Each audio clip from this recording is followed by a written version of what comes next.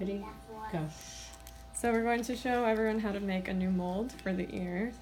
You take two of the blue packets, two of the white packets, mix them together until they're a solid color.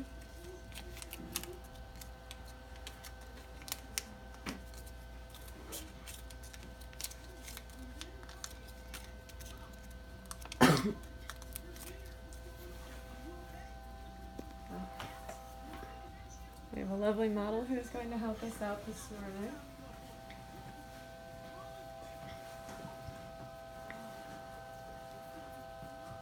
So the mold is only to be worn at night. If a child is laying down, nap time, you do not want to wear it during the day because it's heavy and it will pull the ear down. So only if the child or patient is sleeping or laying down.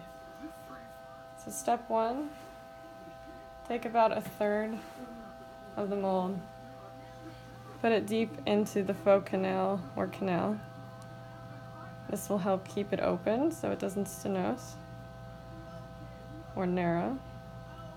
Flatten it across the front of the ear. The rest, you roll like a hot dog. Place it on the back of the ear. It's okay if the entire lobe is not in the mold. The, the lobe is soft, we're not worried about that losing projection. This mold is mostly to protect the ear in case the, the patient sleeps on it, so it will not flatten. So the posterior part of the mold is the most important. Keep packing it in a bit as the mold begins to harden. You have about four minutes to make the mold before it becomes hard. And then just smooth the pieces together. To see if the mold is dry, you can run your nail along it. If it leaves a mark, it's not yet dry.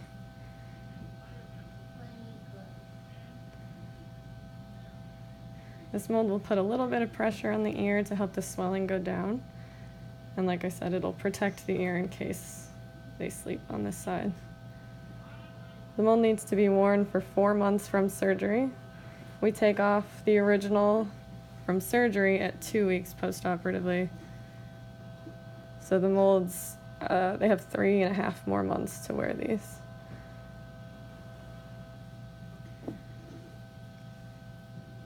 You need to make a new mold anytime it becomes loose.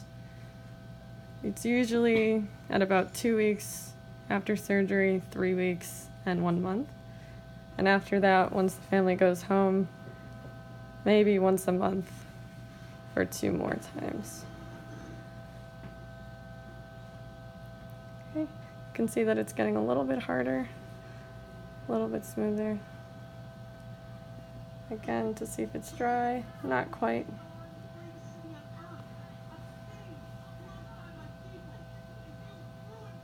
Perfect.